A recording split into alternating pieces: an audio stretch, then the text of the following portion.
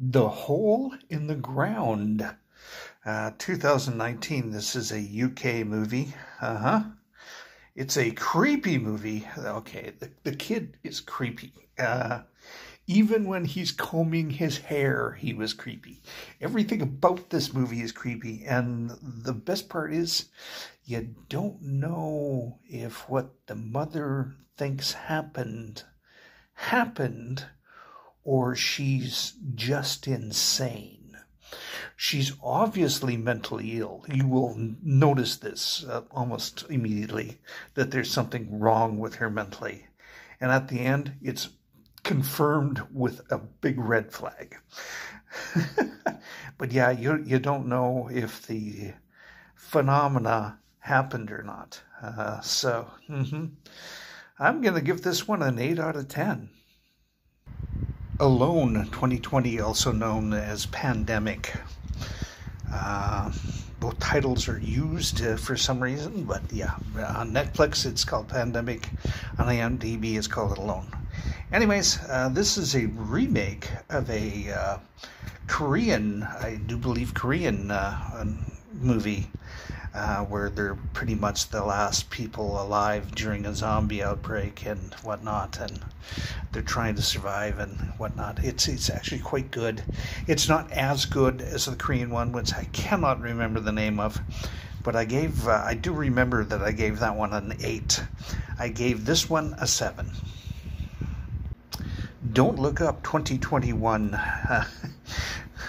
astronomers uh, see an asteroid or and whatnot coming toward the uh, the planet, and it's going to kill us all. Right? We're dead. The the planet's the world's over. Basically, uh, they're getting. Uh, nothing but flack, and nobody's believing them, and all that stuff. If you watch to just before the credits, um, there is a uh, twist at the ending, twist ending uh, and it's kind of comedic. And if you want really comedic and a very big punctuation mark on uh, today's society, watch past the credits. Uh, where there's a guy climbing out of the rubble, and uh, watch what he does because it is a huge punctuation mark on today's society. uh huh. Seven out of ten. Okay.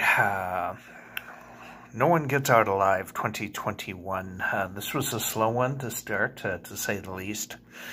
Uh, but it got there. It, it got there all right. Um, I just didn't fall in love with it. You know what I mean?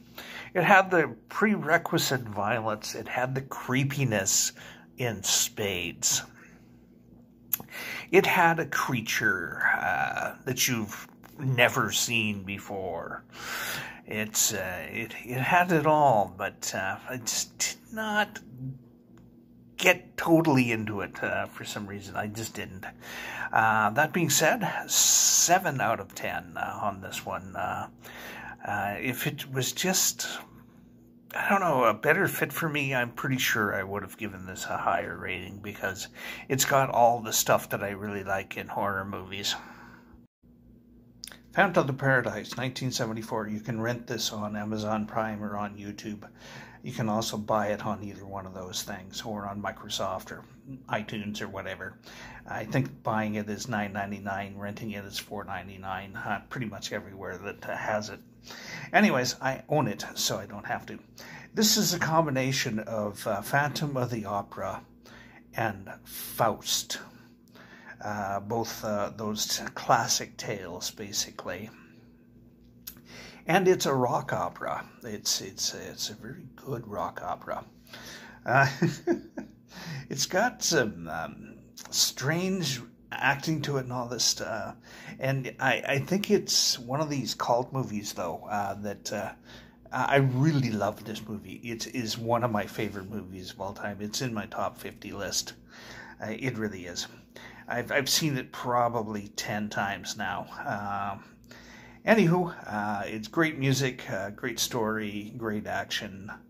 Uh, give it a 9 out of 10. You're either going to love this or you're going to be bored to shit, one or the other. Have a good one. Terminator Dark Fate 2019. You can either rent this on Amazon or YouTube, or you can watch it on Netflix for your subscription price. Anyways, uh, I watched it on Netflix because I ain't renting nothing. Anyways, um, eh, what can I say? Uh, it's your typical Terminator movie. If you're into the Terminator, trazillion Terminator movies uh, and and whatnot, uh, and all the fan fiction and all this other stuff, you'll probably gonna like this one. It's not as good as some of the others, and it's not as bad as some of the others.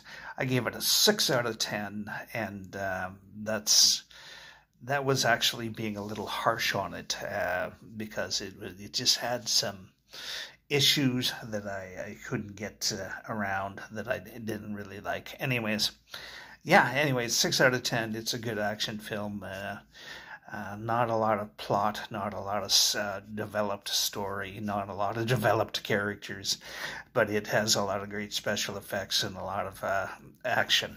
So